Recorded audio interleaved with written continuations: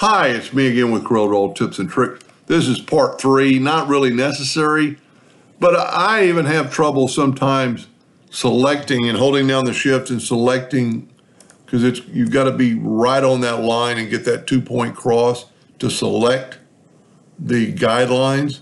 I wish you could hold down the Alt key and just select through it, but you can't. Another way to do it, it's not that big a deal, but if you go, t- if you already have this open, go to Dockers and Guidelines. It's going to show you the two vertical and two horizontal guidelines. So if I want to select the two vertical hard, guidelines, I can just select them over here and they're selected and there's my 4.24 for my horizontal. Then I hold down the shift. It's a lot easier to pick them.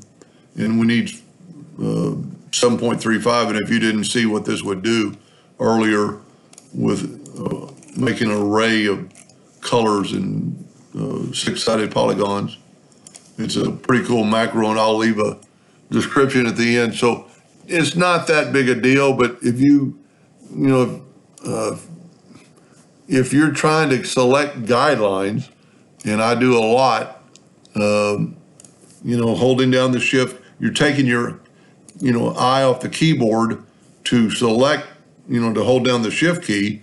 Where this, you know, you want the two horizontal, just keep your hand on the shift key and just select those two. You could select them all, but that messes up his macro, but at least it tells you that you can do it.